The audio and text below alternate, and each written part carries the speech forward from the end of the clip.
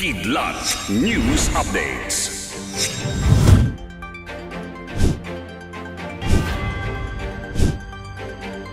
Ako po si Cesar Soriano kasama ang buong pwersa ng Kidlat News Channel para ihatid ang nangungunang mga balita sa buong kapuluan. Ngayon, Isinusulong ngayon sa Senado ang investigasyon sa talamak na pagsasayang ng mga pagkain sa Pilipinas. Ito'y sa gitna ng ulat na milyong tonelada ng pagkain ang nauuwi lamang sa basurahan kahit marami sa ating mga kababayan ang walang makain sa araw-araw. Sa Senate Resolution No. 555 na isinulong ni Senator Nancy Binay, nais nitong magkaroon ng malinaw na pamantayan para matugunan ang problema sa food wastes sa bansa. Sa pag-aaral ng Department of Science and Technology o DOST noong 2019, umaabot sa 930 million tons ng pagkain ang nasasayang. Nangunguna sa food wastes ang rice, vegetables at meat na kalimitang makikita sa hapagkainan ng mga Pilipino. Pinaghahandaan na ng Legal Counsel ni Negros Oriental Representative Arnolfo Arnie Teves Jr. ang mga kasong isasampa laban sa mambabatas kaugnay ng pagpatay kay Governor Roel Degamo. Sa panayam ng CNN Philippines, sinabi ni Attorney Ferdinand Topacio na base sa mga pahayag ni Justice Secretary Jesus Rispin Remulla, isa lang anya ang patutunguhan nito.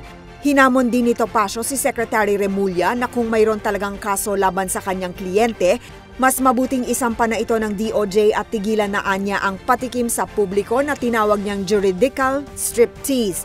Inulit ni Topacio ang nauna niyang sinabi na hindi na nakapagtataka na idadawit si Congressman Teves sa kaso, kasabay ang pagtiyak na nakahanda silang sagutin ang mga ito. Pinawi ng Metropolitan Waterworks and Sewerage System o MWSS ang pinangangambahang kakapusan sa supply ng tubig sa bansa ngayong panahon ng tag-init. Ang pagtitiyak ay ginawa ng ahensya sa gitna ng pangamba sa water shortage dahil sa labis na tagtuyot dulot ng El Nino phenomenon. Ayon kay MWSS Administrator Leonor Cleofas, mananatiling sapat ang supply ng tubig na nagmumula sa Angat Dam sa Bulacan. Tinukoy ni Cleofas ang pag-aaral sa Angat Dam na pinagmumulan ng 90% ng water supply sa Metro Manila at kalapit probinsya at lumalabas na mananatili ang sapat na supply hanggang matapos ang buwan ng tag-init.